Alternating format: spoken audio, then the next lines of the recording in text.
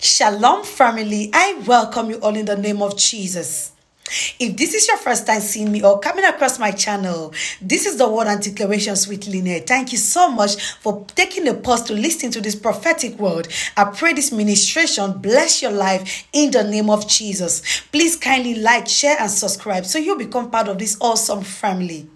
As for those returning as family, thank you so much for always coming back. Thank you so much for believing in me. Thank you so much for standing with me. I pray may God continue to bless and increase you in the name of Jesus. I will continue to pray and intercede for you all. Amen. The Lord says this person fell in love the moment they set eyes on you. The moment this person set eyes on you, this person fell in love with you.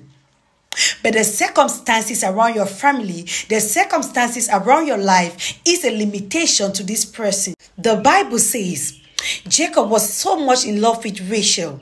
He did everything that was required in order to be with Rachel. But the circumstances around their tradition, the circumstances around their family limited that relationship. After Jacob had worked for seven years, instead of him to be giving Rachel, Leah was given to him. He was so disappointed and he had to work for another seven years. The Lord says, This person I'm talking to, this is what is happening to you right now.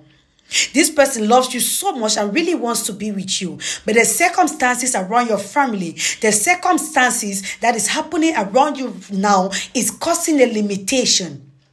But I pray for you. May the will of God over this, over this relationship manifest.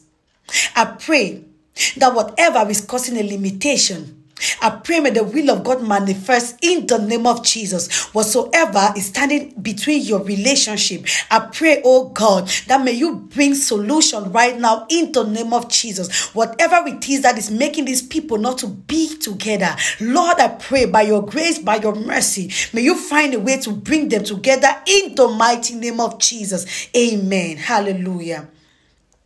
I don't know what this particular circumstance is. Maybe maybe your parents are not and do not like this person. Maybe there is something about you that they don't like and they, they is causing a limitation in, in this relationship. But God is going to give you a solution. You have been so worried and God is about to restore your peace in the name of Jesus. Amen. I hope you receive this word with gladness. Please do not forget to turn on your notification bell so whenever I upload new content, you will be the first to know. Also, if there is something that you're believing God for, if there is something that you, you need the, the, the face of God, you need you need to you need to know what God is saying about it and you don't know what to do, you can always email me so we pray together and have a solution. Amen. God bless you and see you in our next session. Shalom.